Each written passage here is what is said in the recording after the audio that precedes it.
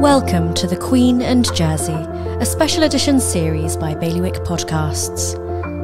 Time and technology worked in tandem to make Queen Elizabeth II Britain's most travelled monarch. Her Majesty was 96 years old when she died, having come to the throne in 1952, by far the oldest and longest serving royal Great Britain has ever known. When she was crowned, the winds of change were just beginning to blow, and the last vestiges of the empire were giving way to a Commonwealth of Nations. In this new role as the head of the Commonwealth, she crisscrossed the globe.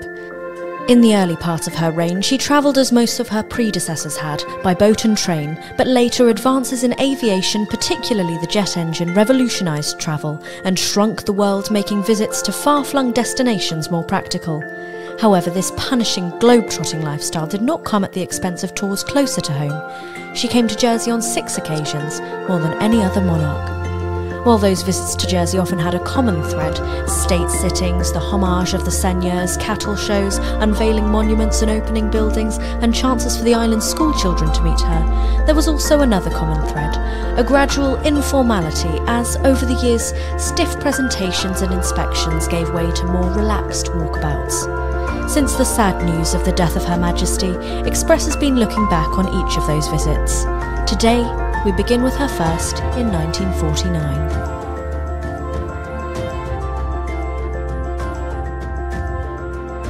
It was in 1949, less than five years after the occupation had ended, that Princess Elizabeth made her first visit to the island.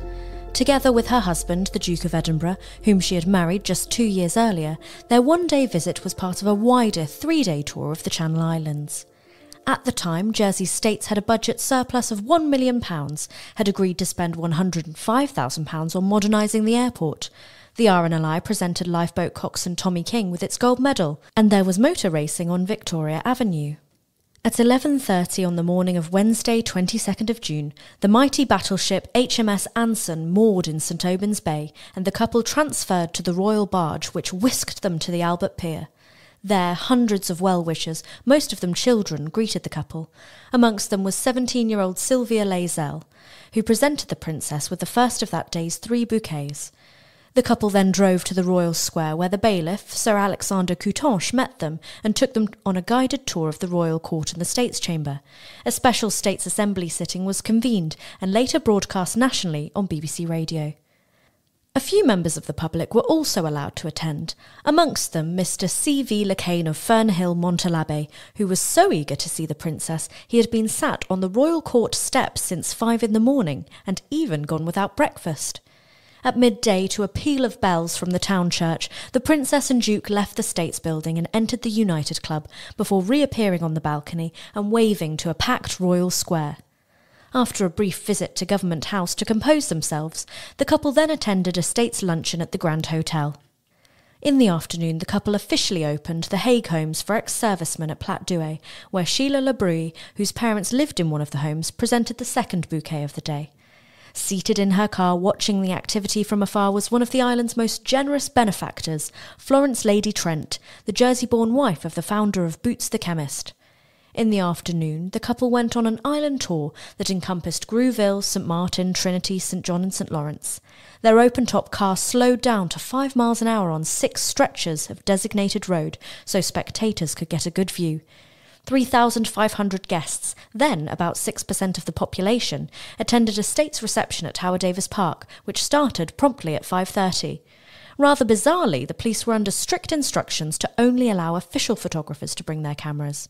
Amongst those presented to the couple were islanders who had escaped during the occupation. Also in attendance was First World War hero and Jersey postie Jack Counter VC. Brownie Ruth Biddle presented the final bouquet of the day, but the princess, remembering her own brownie days, politely corrected her when, in a break with brownie etiquette, Ruth proffered her right hand for a shake rather than her left. Jersey College for Girls head girl Annette Romeril gave the princess a gift for her eight month old son, Prince Charles, and the school's deputy head girl, 17 year old Marion Michelle, also presented the princess with a traditional Jersey christening bowl. Afterwards, while the princess was at Government House, the Duke went to St Helier Yacht Club to meet, amongst others, those who had taken part in the Miracle of St Malo, a mini Dunkirk at the beginning of the Second World War, in which local yachtsmen had rescued Allied service from the advancing Nazi forces. The couple dined at Government House and at 10.15 left for the harbour, HMS Anson and the United Kingdom. Thank you for listening to The Queen and Jersey. This is an audio version of an article produced by Eric Blakely and the Bailiwick Express team, read by me, Fiona Potney. If you'd like to see the full version, you can click the link in this episode description. If you've enjoyed delving into this period in the island's history, please do like and share this podcast with others. And to keep up to date with all the latest coverage on how Jersey is paying tribute to Her Majesty the Queen, sign up to our free daily news email and download the Bailiwick Express app.